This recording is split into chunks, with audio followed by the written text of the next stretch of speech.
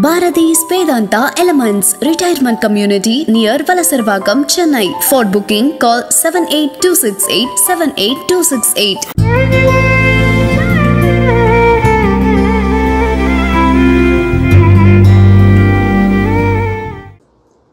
Jai Shri Radhe Krishna Bhagavata Rahasyam என்ற தலைப்பிலே நாம் சில விஷயங்களை பார்க்கலாம் பாகவதத்தை பற்றி நிறைய உபன்யாசகர்கள் நிறைய விஷயங்களை சொல்லியிருக்கிறார்கள்.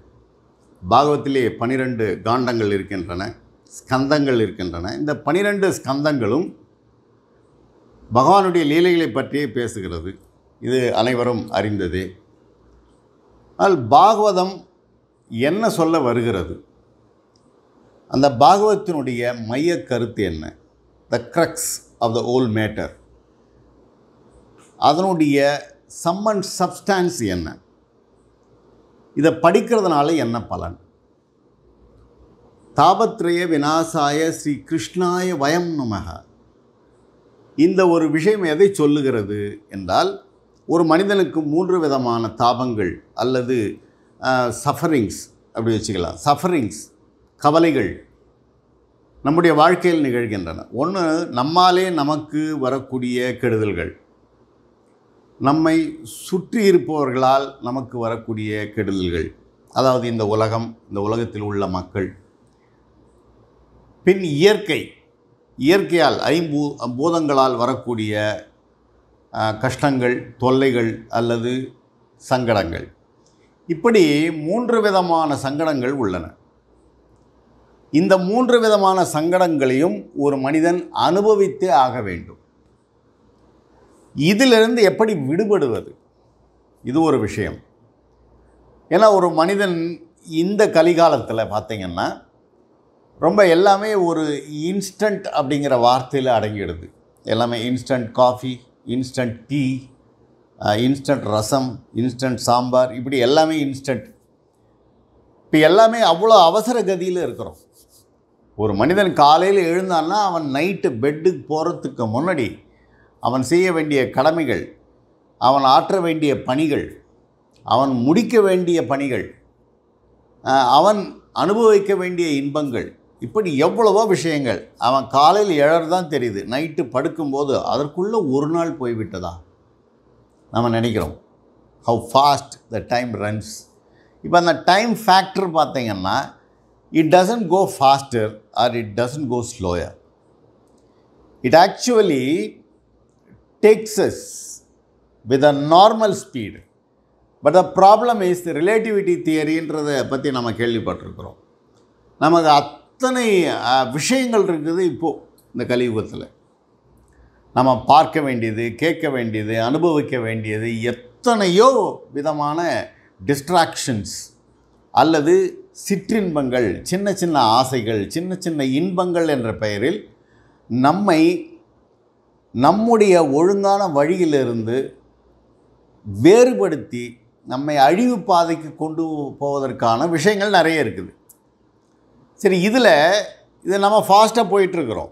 இந்த நேரத்தில் எது கரெக்டு நம்ம போகிறது கரெக்டான்றது நமக்கு தெரியல. இதுதான் ப்ராப்ளமே இப்போ நீங்கள் கடவுளை நம்பு கடவுளை வணங்கு அப்படின்னு சொல்லிட்டோன்னா நான் எதுக்காக கடவுளை வணங்கணும்?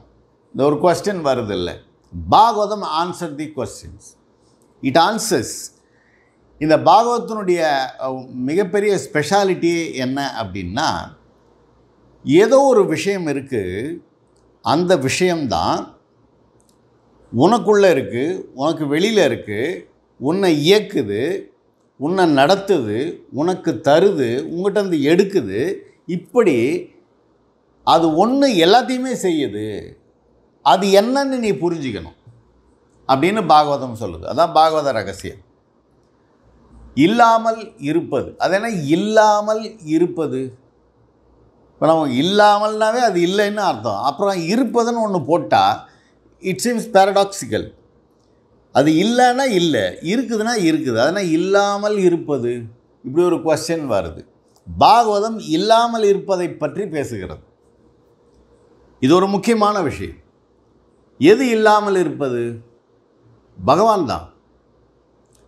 சத்சித் ஆனந்தம் அப்படிங்கிற ஒரு விஷயத்தை பற்றி அவர் பேசுகிறாங்க இந்த பாகவதம் முழுக்க இந்த ஒரு விஷயத்தை பற்றி ரொம்பவே பேசுகிறாங்க இப்போ நாம் கொஞ்சம் இந்த ப பாகவத்தை before getting into Bhagavatam let's see this one fact actually use you ஸ்விட்ச் off or put off all the clocks எல்லா விதமான கடிகாரங்களையும் நிறுத்திடுங்க இந்த உலகத்தில். கம்ப்ளீட்டாக எல்லாத்தையும் சுவிட்ச் ஆஃப் பண்ணிடுங்க. பட் யூ சி இந்த நேரத்தில் கூட இந்த டைமுங்கிற ஒரு விஷயம் போயிட்டு தான் இருக்கும். இப்போ கிளாக் வந்து நேரத்தை நிர்ணயிக்கிறதில்ல. அது நேரத்தை காட்டுது. அவ்வளோதான் அந்த கிளாக்கை நிறுத்திட்டா கூட டைமுங்கிற ஒன்று போயிட்டே இருக்குது இல்லையா? அப்போ அந்த காலம் அப்படிங்கிற ஒரு விஷயத்தை நிர்ணயிக்கிறது எது அப்படின்னா something which takes birth it takes birth it grows it dwindles it dies அதாவது என்னென்னா ஒரு விஷயம் எந்த ஒரு பொருளாகட்டும் அது தோன்றுகிறது வளர்கிறது தேய்கிறது மறைகிறது. இந்த நாலு ப்ராசஸும் தான் டைமை நிர்ணயிக்கும். காலம் அப்படித்தான். இப்போ உங்களுக்கு வயசே ஆகலை. There is no sun there is no day there is no night nothing is there அப்போ டைமுக்கு எந்த விதமான மீனிங்கும் இல்லை. ஏதோ ஒன்று பிறக்குது வளருது தேயுது மறையுது அப்படிங்கிற அந்த நாலு ப்ராசஸ் இருக்கிறதுனால தான் காலம் என்பது ஒத்துக்கொள்ளப்படுகிறது. இந்த காலத்தை நிர்ணயிப்பவர் யார்?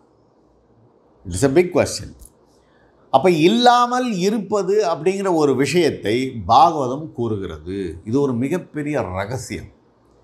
சரி அது யார் அப்படின்னா it starts with that big bang தியரின்னு நீங்கள் சொல்கிறீங்களே அந்த மாதிரி it starts with that entire creation Bhagavatam அப்படி தான் தொடங்குது.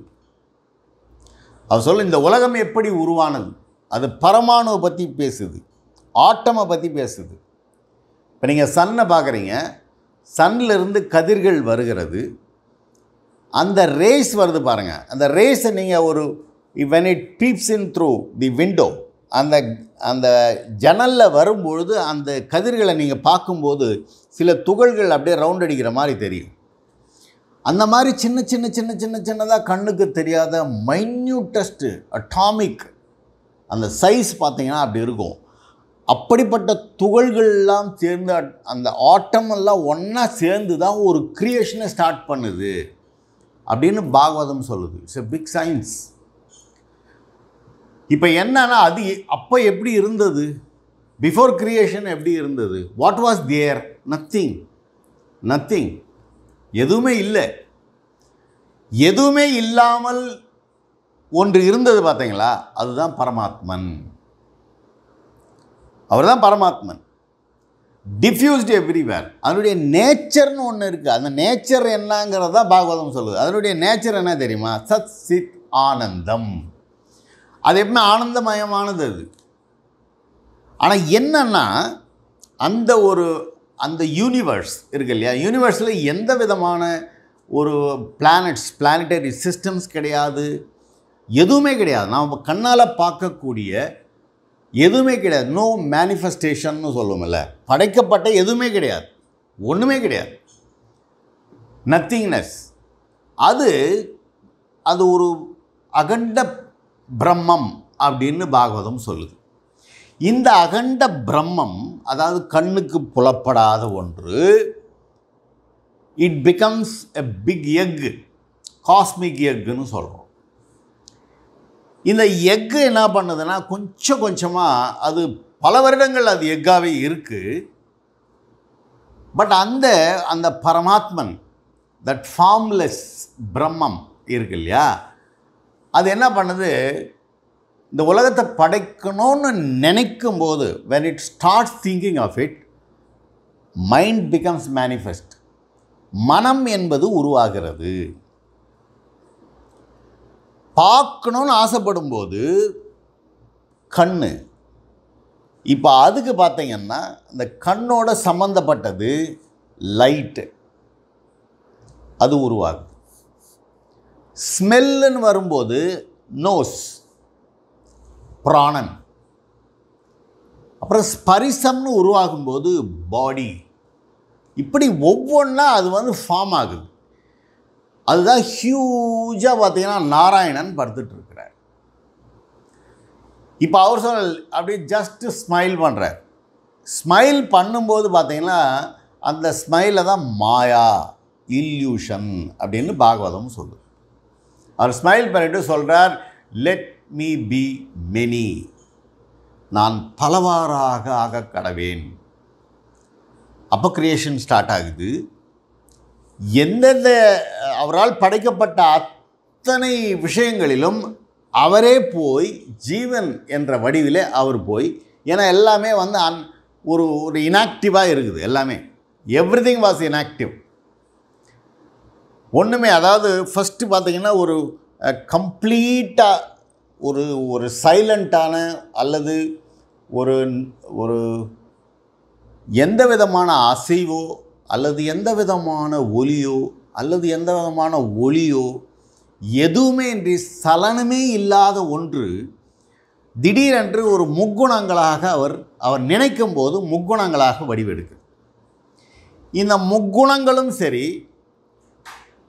இந்த உலகத்தில் படைக்கப்பட்ட அத்தனையும் இனாக்டிவாக இருக்கும்போது பகவான் என்ன பண்ணுறார் ஜீவன்னு தன்னுடைய பொட்டன்சி தன்னுடைய சக்தியை அந்தந்த ஜீவன்களுக்குள்ளே போய் ஆக்டிவேட் பண்ணுறார் ஆக்டிவேட் பண்ணும்போது எவ்ரி திங் ஸ்டார்ட்ஸ் ஃபங்க்ஷனிங் இதை ஃபங்க்ஷன் பண்ணிட்டாரா? இப்போ என்ன பண்ணணும்னா நேச்சர் இப்போ மூன்று குணங்களை படைக்கணும். மூன்று குணங்களாக வடிவெடுக்குது. சத்துவம் ரஜஸ் தமஸ் அப்படின்னு மூன்று குணங்களாக வடிவெடுக்குது. இந்த மூன்று குணங்களும் பிரகிருதி நேச்சரை படைக்கும் இந்த நேச்சர் வந்து பார்த்திங்கன்னா இந்த முக்குணங்களுக்கும் நேச்சருக்கும் ப நெருங்கிய ஒரு சம்பந்தம் உண்டு. ஒரு ப்ராக்சிமிட்டி உண்டு. இப்போ இதற்கு அப்புறம் தான் பகவான் என்ன நினைக்கிறார் அப்படின்னா சரி இந்த உலகத்தில் உயிர்களை படைக்கணும் மற்ற விஷயங்களை எல்லாம் தோற்றுவிக்கணும்னா அட்மினிஸ்ட்ரேஷன் ரொம்ப முக்கியம். இந்த பாவதம் சொல்கிற மிகப்பெரிய ரகசியம் என்னென்னா நீங்கள் என்னெல்லாம் கேள்வி கேட்குறீங்களோ அந்த கேள்விக்கான பதில் இங்கே இருக்குது. ஆனால் ஒரே ஒரு விஷயம் என்னென்னா அதை அக்செப்ட் பண்ணிக்கிற மனசு நம்மக்கிட்ட இல்லை. இட்ஸ் அ பிக் கொஸ்டின் அப்போ பாகவதம் என்ன சொல்லுது? முதல்ல உன்னுடைய சந்தேகத்தெல்லாம் வேறு இடத்துல வச்சிரு. நான் சம்சயாத்மா வினச்சியதி அப்படின்னு சொல்லும். சந்தேகம் உள்ளவனுக்கு இந்த உலகமோ வேறு உலகமோ கிடையாது. அவன் அழிந்து விடுவான். முதல்ல சொல்கிறத கேட்டுக்கோ. தென் யூ டிசைட் பகவத்கீதையில் பகவான் கூட அப்படி தான் சொல்கிறார் ஃபஸ்ட்டு என்ன சொல்ல எல்லாத்தையும் சொல்லிடுறார். நான் சொல்லிட்டேன்ப்பா it is left you it is up to you to decide whether to accept it or to reject it அது உங்கள்கிட்ட தான் இருக்குதுன்னுறார் அதே போன்று தான் இப்போ ஃபஸ்ட்டு பாகவதம் சொல்ல வர விஷயங்கள் என்னென்னா நீங்கள் என்ன எங்கே ஃபஸ்ட்டு ஸ்டார்ட் ஆகுது எதுக்காக ஸ்டார்ட் ஆகுது எதுக்கு இயங்குது எதுக்கு இதெல்லாம் மறைஞ்சு போகுது?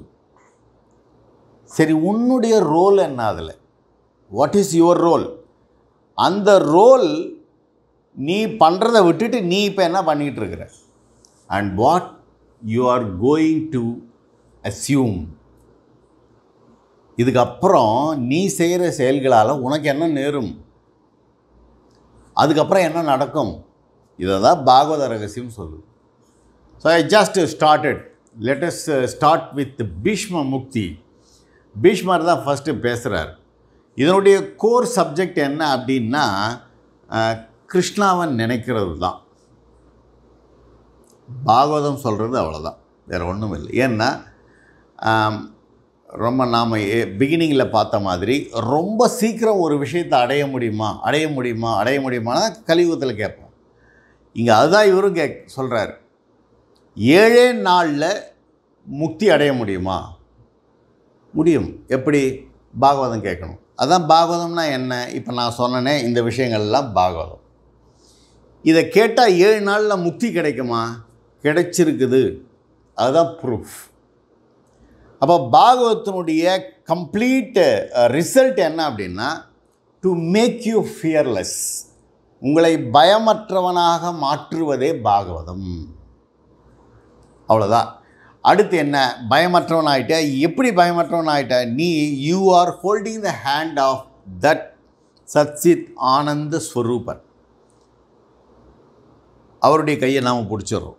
சரண்டர் அதுதான் கிருஷ்ணா. அப்போது is there to protect us அப்போ we come out of that then called maya or illusion இதை புரிஞ்சுக்கிட்டோம்னா that is what we call wisdom அப்போ பாகவதம் படிக்கிறதுனால நமக்கு என்ன கிடைக்குது? அப்படின்னா wisdom that love pure love pure love towards the one who created the universe and அடுத்தது என்ன அப்படின்னா how to lead our life how to make it successful